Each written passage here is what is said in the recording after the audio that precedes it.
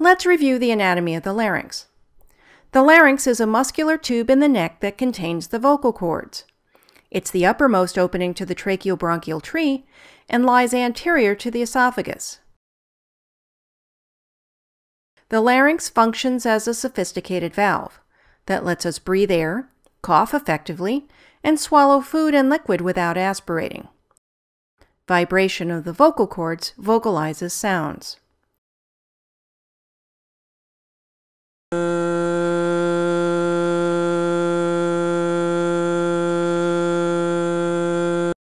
The laryngeal skeleton gives the larynx rigidity and support.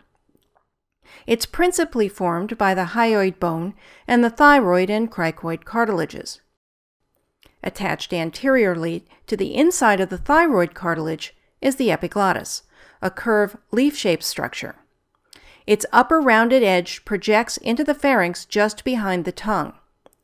The stalk at the base of the epiglottis allows it to swing up and down over the laryngeal outlet, opening and closing it like a trap door.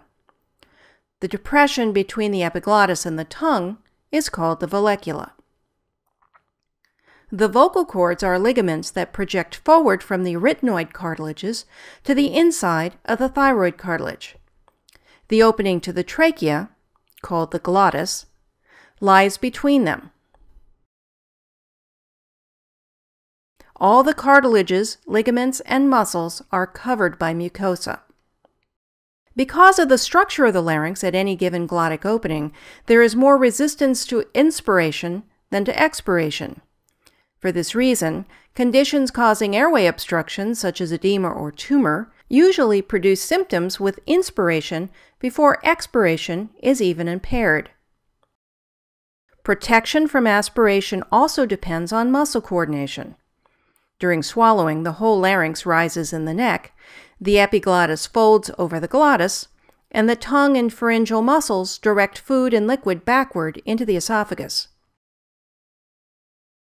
When muscle tone is lost, the epiglottis, tongue, and other pharyngeal tissues fall backward, blocking the larynx and obstructing breathing.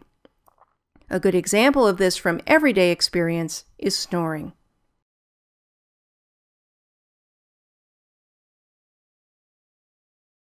The differences in pediatric airway anatomy are most marked in infants less than one year of age.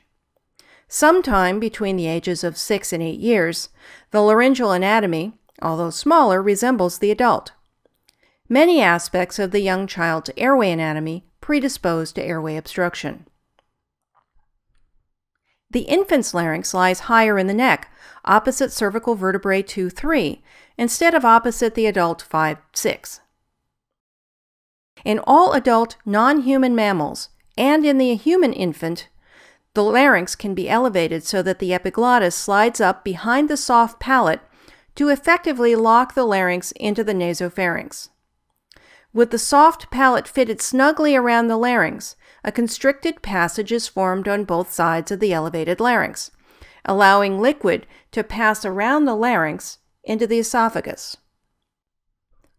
The tongue is larger relative to the mandible and fills the mouth, angled slightly forward to cover the gum line. These features allow the nursing human newborn to suckle effectively and breathe while swallowing liquid. The ability to breathe and swallow at the same time is called obligate nose breathing. All mammals other than the adult human are obligate nose breathers. However, this anatomical configuration places the child at greater risk of airway obstruction and makes airway management more challenging. A newborn infant breathes through his nose and can suffocate if the nose is obstructed. The only time newborns breathe through their mouths is when crying. A congenital defect known as choanal atresia occurs when the nasal passage is narrowed or blocked by tissue. Newborns with bilateral choanal atresia may need resuscitation at delivery. The baby's relatively large tongue more easily obstructs the airway.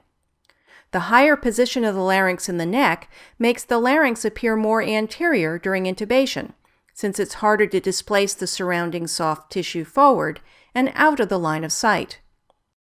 When supine, the large occiput flexes the head forward, collapsing the tongue and soft tissues over the larynx and blocking the airway. The cartilage composing the trachea is soft and easily compressed. Extreme extension or flexion of the child's neck can obstruct the airway. In fact, pressing on the soft tissue under the chin to get a good mask fit can also obstruct the airway. The larynx is not only smaller than the adults, it's also anatomically different. The epiglottis is shorter and more omega shaped, making it harder to pick up with the laryngoscope blade. It's softer and more easily deformed. In the adult larynx, the gap through the vocal cords is the smallest diameter.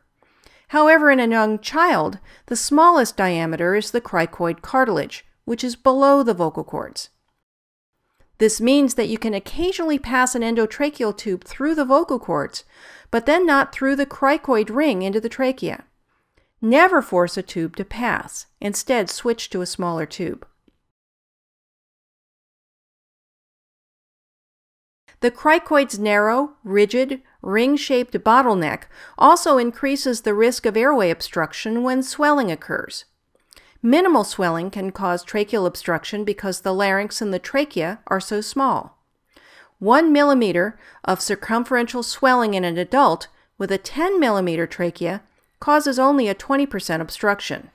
The same 1 millimeter circumferential edema in an infant with a 3 millimeter trachea causes a 70% obstruction. Thus, swelling from infections or trauma can have a much more devastating effect. Between 2 and 6 years of age, the larynx gradually descends to a lower position in the neck.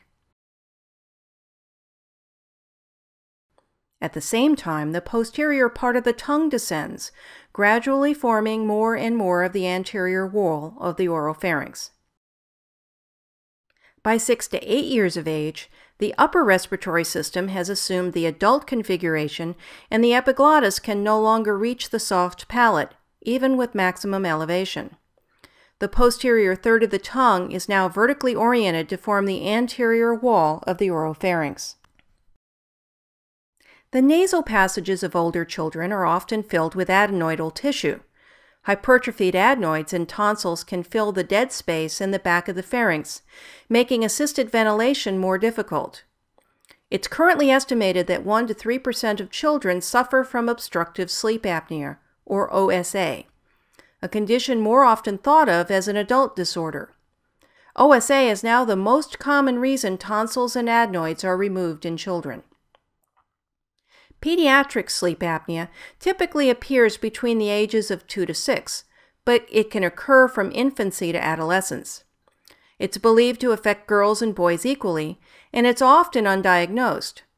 Untreated obstructive sleep apnea in children has been linked to behavior problems, impaired growth, learning disabilities, poor school performance, bedwetting, high blood pressure, and heart disease. Understandably, airway management can be more challenging when such a child loses consciousness or develops airway obstruction from other causes.